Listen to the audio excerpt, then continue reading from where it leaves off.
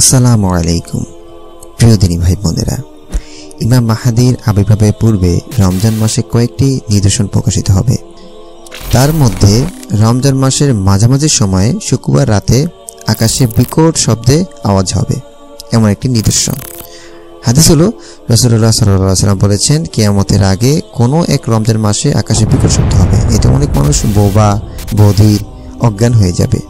তো এই হাদিসটি আমরা প্রায় শুনে থাকছি যে বর্তমানে কিছু কথাকথিত বক্তা বা আলেম ইমাম মাহাদি সম্পর্কে বিভিন্ন ইউটিউব চ্যানেলে বিভিন্ন ইউটিউব বক্তা, জাল, জয়ীফ এবং বিভিন্ন অতিরঞ্জনমূলক বক্তব্য দিয়ে মানুষের মাঝে নানা বিভ্রান্তি এবং ভয়ভীতি সঞ্চার করছে। এসব শুনে মানুষ আতঙ্কিত হয়ে পড়ছে। কিন্তু মনে রাখতে হবে কেয়ামতের পূর্বে ইমাম মাহাদি আসবেন এবং ন্যায় নীতি ধারা বিশ্ব শাসন করবেন। তখন পৃথিবীব্যাপী শান্তি, সমৃদ্ধি ছড়িয়ে পড়বে।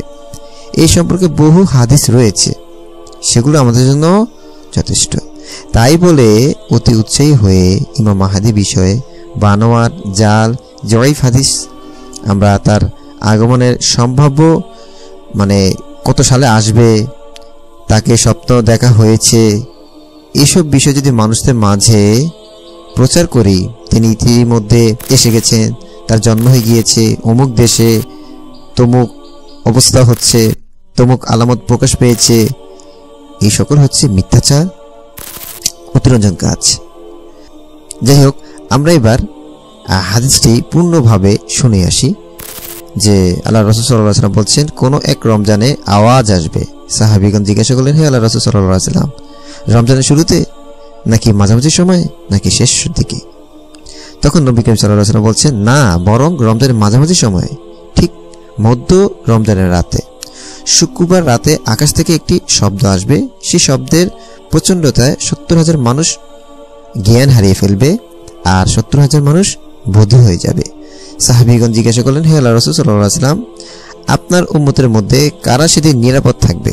নবী কেম সাল্লাহ সাল্লাম বলেছেন যারা নিজ নিজ ঘরে অবস্থানরত থাকবে, সিজদায় লুটিয়ে পড়বে, আল্লাহ সুবাহতাল্লাহর আশ্রয় প্রার্থনা করবে এবং উচ্চ শব্দে আল্লাহ আকবর বলবে। পরে আরও একটি শব্দ আসবে। প্রথম শব্দটি হবে জিবরি আলাহ ইসলামের দ্বিতীয় শব্দটি হবে শয়তানে তারপর আবার ব্যাখ্যায় বলা হচ্ছে, রমজানের শব্দ আসবে, যুদ্ধ সংগঠিত হবে, আরব গোত্রের মধ্যে বিদ্রোহ হবে, তারপরে হাজিরা লুণ্ঠন করবে তারপর মোহরম মাসে বিপদ আসবে, তারপর আবার এর থেকে উত্তরণের পথ বের হবে, বিভিন্ন আরও অনেক কিচ্ছা কাহিনী। তো এই সম্পর্কে আমাদের ইমামরা কি বলেছেন? হাদিস যে তারা সংকলন করেছেন, তো এই হাদিসে কারা কারা মিথ্যুক ছিল? কারা কারা বানোয়াট হাদিস তৈরি করত? তো এখানের মধ্যে ইমাম জাউজি রহিমুল্লাহ, তিনি বলেছেন যে এটা বানোয়াট হাদিস। ইবনে হিব্বান, উকাইলি, বিভিন্ন আলেম তারা বলেছে এটা বানোয়াট, এটা শুদ্ধ নয়। তারপর ইমাম জাহাবি বলেছেন এই হাদিসটি বাতিল। ইমাম ইবদুল কাইম রাহিমুল্লাহ, তিনি বলেছেন যে অগ্রিম তারিখ নির্ধারণ করা, এটা কোনো হাদিস পাওয়া যায় না, এগুলো সহি নয়। তারপর শেখ নাসিরুদ্দিন আল বানি তিনি বলেছেন এই হাদিসটি জয়ীফ বাতিল। তো আমরা এইসবের মাধ্যমে বুঝতে পারি যে জয়ীফ বানোয়াট যার হাদিস প্রচার করে মানুষদের মাঝে আমরা ফেতনা ছড়াচ্ছি, আতঙ্ক ছড়াচ্ছি। আমি শেষ দুই হাজার ষোলো সাল থেকে শুনে আসছি যে প্রত্যেক রমজান মাসে কেয়ামত সংগঠিত হবে। কেয়ামত কেন সংগঠিত হবে? কেয়ামত সংগঠিত হবে হলো যখন ইমাম মাহাদি এরসাল আসাম সবাই মৃত্যুবরণ করবে, তখন না, মুমিন ব্যক্তি মৃত্যুবরণ করবে, তখন কেয়ামত সংগঠিত হবে। তখন বিকট শব্দ আওয়াজ আসবে।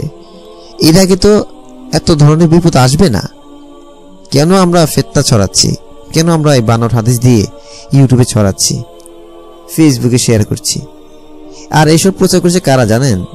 এসব প্রচার করছে হলো তারাই যারা টাকা ইনকামের ধান্দা ইউটিউবিং করে। ফেসবুক চালায়। তারা এসব শেয়ার করছে। তারা মিথ্যা জাত জয়ীফ হাদিস ছেড়ে দেয়। কেন? তারা তো আর মাদ্রাসা পড়ে না। তারা তো আর কোরআন হাদিস নিয়ে গবেষণা করে না। তারা এমন সব জিনিস প্রচার করে যেগুলো মানুষ দেখে। কারণ মানুষ তো জানে না, বুঝে না। সাধারণ মানুষ তো বুঝে না আর যে এটা কি সহি হাদিস নাকি জয়ীফ হাদিস। আলেমদের মুখ থেকে শুনবেন। আবার কিছু কিছু আলেম আছে, তারা ভাইরাল হওয়ার জন্য এসব ভিডিওগুলি ছাড়ে।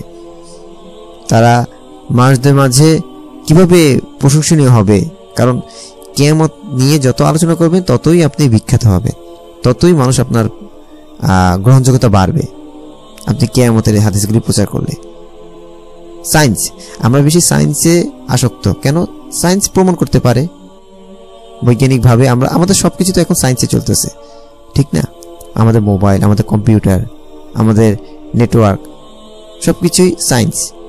তো সেই জন্য মানুষ যখন প্রমাণিত হয়, সেই বিষয়ে মানুষ আকৃষ্ট বেশি হয়। কিন্তু ভাই, প্রমাণিত হওয়ার বিষয়ে হাদিস দিয়ে আপনি প্রমাণিত করেন। হাদিস দিয়ে বা কোরআন আয়াত দিয়ে যেগুলো প্রমাণিত, সেগুলো আপনি বিজ্ঞানময় বিভিন্ন আয়াত রয়েছে, হাদিস রয়েছে, সেগুলো আপনি প্রচার করেন। এটা তো কোনো অসুবিধা নেই, কিন্তু জাল জয়ীফ হাদিস কেন প্রচার করবেন? আপনার তো যাচাই করা উচিত ছিল। আল্লাহ সুবাহ আমাদেরকে বুঝেও মানার তাফিক দান করুক আমি